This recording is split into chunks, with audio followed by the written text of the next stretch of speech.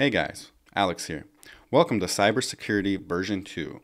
I like to keep my videos up to date at least yearly, and I made a cybersecurity video about one year ago. One year and one week ago today, I released my WGU cybersecurity video, and it was probably my most popular video I had outside of like my computer science WGU videos and outside of the degree rankings video I did as well. So it was a very popular video. WGU cybersecurity is an extremely popular degree among accelerators. So for those of you in the military watching this video, thank you for your service. I always do appreciate the military very, very much. So my grandfather, my great grandfather was in the military. Uh, I was a Marine, uh, Purple Heart. Um, big supporter of the military. So thank you for your service for anybody that is watching this video. So anyways, guys, I'm going to go over this. Not, nothing has really changed, but I do like to keep my videos and spreadsheets up to date at least, you know, yearly. So nothing has really changed. WGU has not really updated this program. But like I said, I like to keep my videos up to date at least on a yearly basis. So I'm going to go over this version 2. And if there is any edits, I will make those in the spreadsheet. So if WGU does edit something, I will edit it in the spreadsheet. Just like drop a comment and tell me like something's been edited and I will go check it out. So because you know WGU doesn't like send me like all this current information or anything like that. This is all self-research on my part. So we'll get into the video today. I'm going to show you how you can hack this degree in six months. I'm going to show you how you can transfer all these ACE credit courses and get your full-fledged WGU cybersecurity bachelor's degree in basically one term. Now, you'll spend a good four to five months getting the ACE credits probably, unless you're like really, really fast. And then you can maybe do it a little sooner than that. But we'll say four, you know, four to five months to get all the ACE credits.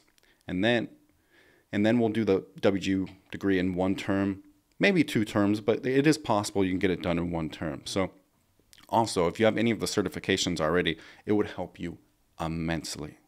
All right, guys, we are in the spreadsheet, and I'm going to show you how to hack this degree and what courses you can transfer in here. And this is a brand new spreadsheet. You can download this at majormash.com. Go to majormash.com, click WGU Cybersecurity, and you will see a downloadable spreadsheet. So don't click the one that says spreadsheet link. That'll bring you to a Google Docs, which is the old spreadsheet. What you want to do is click the download button, the download arrow button, and it will download this brand new spreadsheet to your computer. So I would highly recommend to do that. Uh, sorry guys, it's very early in the morning still. I'm still waking up, drinking my cold brew coffee. So excuse me. So I have designed the spreadsheet to be multiple different sections here. This one took me a little while to put together, so I hope you guys appreciate it. Um, it is much better than my last spreadsheet, in my opinion. So up here, you have all the ACE credit courses. And this section is in light gray. So in light gray, you have all the ACE credits uh, courses, and there's a link to all the courses. So you can click this, and it'll bring you to the course you need to do. And that is a feature I've had suggested by a lot of people for a long time. They want the links to the ACE credit courses uh, just to make everything a little easier. So when, when I did these spreadsheets a year ago, I didn't think it was all that necessary to link them, you know, because you can just type it in. But I was like, you know what, might as well make it as easy as possible for you guys and link it and give you give you the recommendation that you want. So now you can just click them and it'll bring you right to the ACE credit course. So here on place of study, right, it shows you what website it's on, study.com. And then there's one StraighterLine course down here. And here is something new for these spreadsheets, okay? So before we get into the spreadsheet today, I'm going to show you how the tracker works. Basically, you have not started in progress and past, and you use this little drop down arrow right here. Now, if you click past, right, okay, we're going to go down here, and all of a sudden, you have three transfer credits completed and three total credits completed. So three transfer credits completed, three total credits completed. Now, let's say on the certification thing, we go like this, past. That'll put you at six credits and six credits. And if we go to the WGU courses here and we click past, you have total credits completed six. You have WGU uh, credits completed, sorry, transfer credits completed six, WGU credits completed three, and total credits completed nine. So it's a very in-depth tracker. Like you can use this throughout your entire education journey from your first course on study.com to your final course at WGU. So now we're going to go back and put these at not started. Sorry guys, the trash guy is here and he is extremely loud, so I apologize if you can hear it. Anyways, we're gonna, so on this side you get the WGU course equivalent list and then all the units right here. So okay, let, let's, let's finally get into this. Here are the courses you're going to take on ACE credit platforms. You have English, which you'll take at study.com. My recommendation, you'll probably get this done in seven days um, because there's going to be a decent amount of writing. So the, the courses that don't have writing, you can fly by much faster. My recommendation is if you really want to be an accelerator, you know, try to put in at least three hours a day. But if you want to get these done in the timelines, the timelines I'm saying, try for like five to six hours a day. You know, like I know that's not for the faint of heart, but if you want to accelerate a college degree, you know, this is not exactly like easy stuff. It's extremely possible. It's just a time investment. It's not hard. It's just a time investment. So if you got five, six hours laying around, you can definitely get all these done in the timelines I'm saying. So communications 101, you get this done in three days. You get this one in, you can get this one done in two or three days. American government. Uh, any lab course takes a while, so this one might be seven or eight days. And then Computer Science 102 is a very fast course, one of the easier courses on study.com. So you can get this one done in probably three days. So this one has a writing assignment, so you're probably looking at five or six days. And for principles of health, you're looking at probably just a few days on that one. And then most of these computer science courses right here are going to take you database fundamentals you can get done in four or five days, maybe sooner. The thing with database fundamentals is there's no, um, it's just quizzes and there's no writing assignment and there's no project. So you really can get it done in three, four, five days for sure. Probably three days if you really hustle. So, and database stuff is really important to any job, guys. This is like the universal thing in any tech job. You should really know database stuff. You should really know SQL stuff. It's useful in any kind of tech job, any kind of engineering job. It is useful. So you definitely want to learn database fundamentals. It's very crucial. A lot of you probably already know database fundamentals. Introduction to Networking is a pretty easy course on study.com, and I would highly recommend you take this course on study.com because this course, for a foundation course, it's actually really hard on WGU. I actually really struggled with this course on WGU, although I was brand new to like networking stuff. But it is a it's a pretty hard course for a foundational course. Like you're not gonna think it's one of those courses that's disguised as like an introductory course, but unless you already know a lot about network and security, it's actually pretty difficult. Uh, Introduction to Programming has, this used to not have a writing assignment and now it does apparently. So probably going to spend seven or eight days on it. It's Introduction to Programming is extremely, uh, extremely useful. You need to know programming. Um, once again, any tech job, you need to have at least a few programming classes, especially introduction to programming. This will teach you all your basics for any programming language, you know, your arrays, you know, just proper syntax and all that good stuff. So, you know, how to do loops. And so this will teach you, if you never ever learned programming, this will teach you all the bare bones. It's actually a pretty good course. So database programming, this course has an assignment, probably going to take you, probably going to also take you a week uh, programming in Python. This has a, an assignment too, but it's it's not that hard.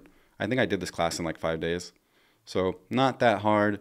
Um, and if you do the introduction to programming class, you get a lot of the quizzes completed already. Like you get credit for the uh, you get credit for the lessons in this one. So that's one of the great things about study.com is a lot of the computer science courses have crossover.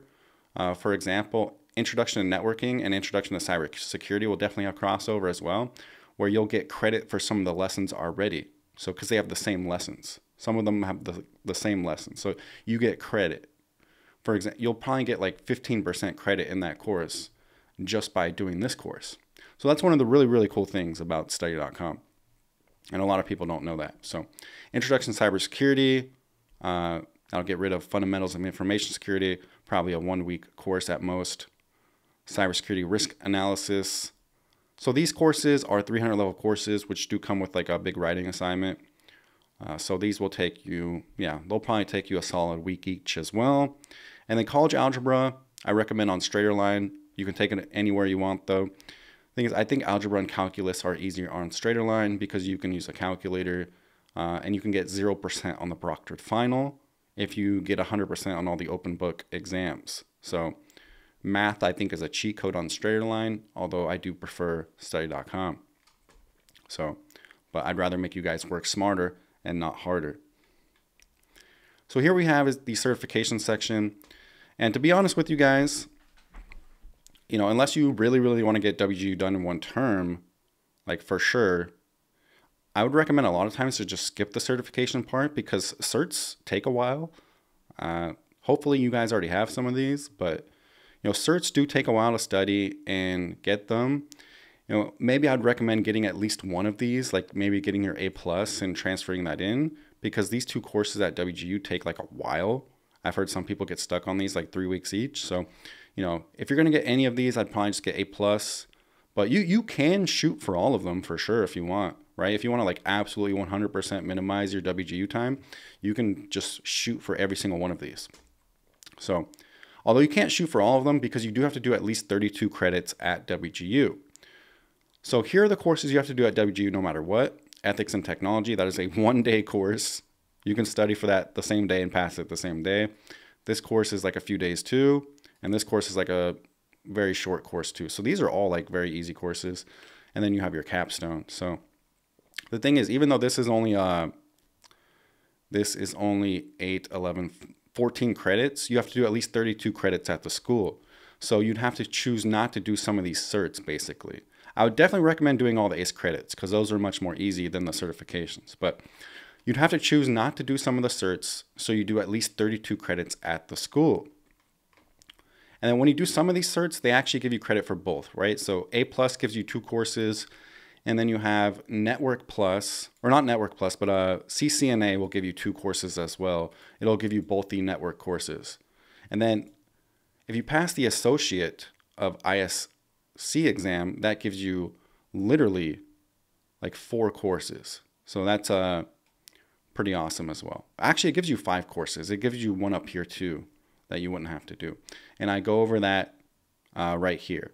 So if you get the Associate of ISC, it would give you five courses, and I list them all down here. Uh, so basically, here are your certifications. You have your Linux Plus or your LPI Linux Essentials. Uh, you have your EC Council ECES, Foundations version 4, CompTIA Network Plus or CCNA or Cisco CCENT.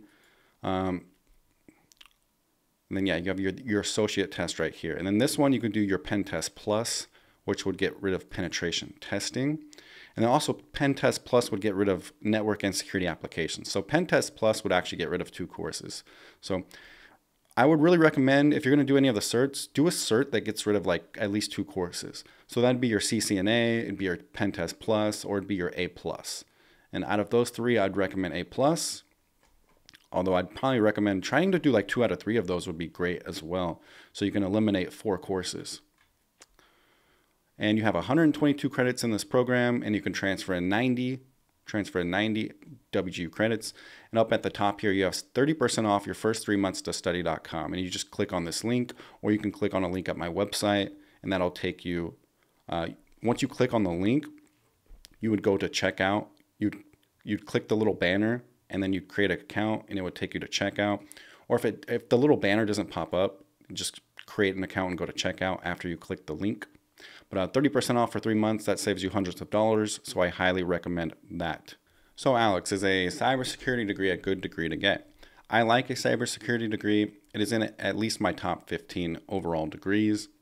I ranked it in, I did a little tier ranking for college majors. I think I did that video three and a half weeks ago if you guys want to check it out. And I think I put cybersecurity in my A tier. So not quite S tier, but A tier. I think it's a fantastic degree, especially if you're coming out of the military, which many of you are watching this video. It's the most popular degree among military members, especially military male members.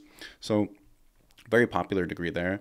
And I think if you are military, you would get a job a little easier with a cybersecurity degree compared to somebody who's not military with a cybersecurity degree. But overall, you've heard me mention, you've heard a lot of other YouTubers mention, hey, there's no cybersecurity entry level jobs. And that is true. There is no cybersecurity entry level jobs. Most of them really want a lot of experience. But that does not mean that you're not going to get any job. You're probably going to start out with some IT entry level job. Now, if you do have some IT experience, then it is it's more possible to get a uh, cybersecurity job right away if you already have IT experience. But if you have no tech experience at all, you're probably shooting for like some entry level IT job, maybe help desk, but maybe something a little beyond help desk. You know, since you do have a bachelor's degree, you have a cybersecurity bachelor's degree. So you want to aim for something a little higher than help desk, but overall, you might have to work your way into cybersecurity. Although it is possible to get your first job in cybersecurity. My recommendation would be obviously at first aim for the moon, you know, uh, apply to cybersecurity jobs, security analyst jobs. Um, make sure your resume is really good. Always attach a cover letter. You know, it's great to make your resume as good as possible. Internships help too. Apply to internships. Internships are usually like four months, and it looks great on your resume. A free shout out to Josh Madakor, completely free shout out. Um, he has an internship program, I think, so you can check that out. And another thing would just be make sure you have some certifications. So cybersecurity is the one world and the IT world in general, but mostly the cybersecurity world where they actually do care about your certifications. Certifications matter even more so than a bachelor degree in the cybersecurity world. So you want to add your certifications, at least your entry level certifications, like at least security plus. Like you want to have at least one or two entry level certifications, preferably a lot more. And a, a certification that looks great in cybersecurity would be like one of the cloud certifications too. So, but like Azure, AWS, or something like that. But overall, get at least one entry level security certification, get your bachelor degree, uh, make sure your resume is great, attach a cover letter, and try to get an internship. So, uh, as long as you're motivated, as long as you're determined, you'll definitely land uh, your first tech job. So I believe in you guys, and I'd like to thank you guys for watching the video today. I hope I was some help, and you can download the spreadsheet over at majormash.com. So you can always get started on your career journey. You can always get started on your bachelor's degree. You can always get started on a career transition change. So if you guys have any questions, please feel free to leave a comment down below. If you could like, comment, subscribe, it would mean a lot to me. So one of the biggest things for the YouTube algorithm is when you comment, actually. When you comment or like, especially comment, it sends the video to new people. So the YouTube algorithm loves comments. So if you guys could leave a comment down below, it would mean the world to me. You know, I have given you the spreadsheet for free and all my resources are free. So if you guys can leave a comment down below, it would mean a lot to me. So thank you guys. Take care.